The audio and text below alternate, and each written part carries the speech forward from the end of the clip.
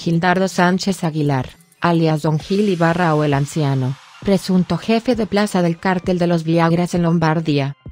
Cabecera de Gabriel Zamora, fue asesinado igual que su hijo, el pasado viernes, informan fuentes de la región. Los reportes indican que en dos hechos diferentes, les fue arrebatada la vida a Gildardo Sánchez y su hijo Cirilo Sánchez, el primero, señalado como jefe de plaza en Lombardía y líder regional del cártel de los Viagras, quien desde 2020 encabezaba la lucha del territorio de ese grupo delictivo frente al cártel Jalisco Nueva Generación. Los asesinatos habrían tenido lugar el pasado viernes en el perímetro de Gabriel Zamora, presumiblemente a manos del cártel Jalisco.